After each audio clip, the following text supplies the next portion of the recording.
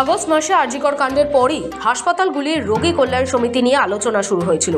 স্বাস্থ্য দফতরে একাধিক পদে বদল সহ একাধিক দাবি নিয়ে স্বাস্থ্য ভবনের সামনে ধর্নায় বসেছিলেন জুনিয়র চিকিৎসকরা।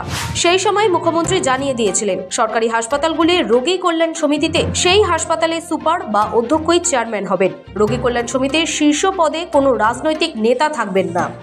রোগী কল্যাণ সমিতির চেয়ারম্যান, প্রিন্সিপালরা নিজেরাই থাকুক। সব হসপিটালের ক্ষেত্রে। নারায়ণ। এবং সাথে একটা সিস্টারকে রাখবে একটা সিনিয়র ডাক্তারকে রাখবে একটা জুনিয়র ডাক্তারকে রাখবে। এবং সেই এলাকার স্থানীয় এমএলএ তাকে রাখবে। ঠিক আছে ঠিক আছে? এবং পুলিশের একজনকে রাখবে। ঠিক আছে লোকাল পুলিশের যে আইসি হবে। সে কথা রাখলেন মুখ্যমন্ত্রী মমতা বন্দ্যোপাধ্যায়।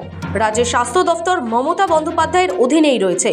সোমবার তার দফতর থেকে বিজ্ঞপ্তি দিয়ে জানিয়ে দেওয়া হলো যে রাজনৈতিক নেতারা এখন রোগী কল্যাণ সমিতিতে শুধু জনপ্রতিনিধি হয়ে থাকবেন। সেক্ষেত্রে সরকার, হাসপাতাল ওয়ারির দায়িত্ব বন্টনে কিছু রদবদল করলেন মমতা বন্দ্যোপাধ্যায়। কি সেই রদবদল?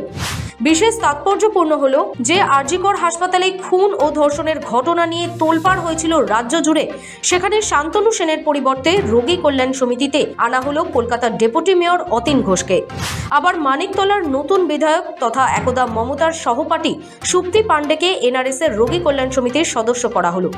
অরূপ বিশ্বাস এসএসকেম হাসপাতালে রোগী কল্যাণ সমিতির চেয়ারম্যান ছিলেন। তাকে সেই হাসপাতালে রোগী কল্যাণ সমিতির সদস্য করা হলো।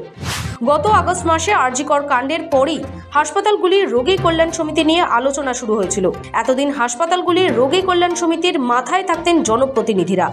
আরজিকরের ঘটনার পরে পুরনো রোগী কল্যাণ সমিতি ভেঙে দেওয়ার কথা জানিয়েছিলেন রাজ্যের প্রশাসনিক প্রধান। তখনই মুখ্যমন্ত্রী জানিয়েছিলেন, এখন থেকে রোগী কল্যাণ সমিতির চেয়ারম্যান হবেন সংশ্লিষ্ট মেডিকেল কলেজের প্রিন্সিপাল।